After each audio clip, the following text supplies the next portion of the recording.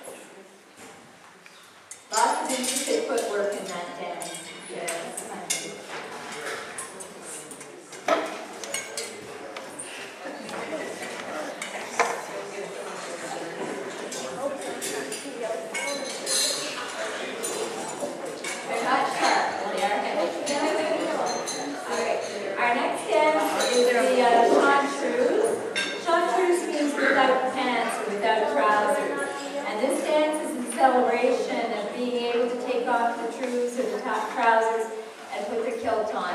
lots of shaking of their feet while they're taking their trousers off, and a nice big leap at the end of it for a celebration of getting their kilts back on.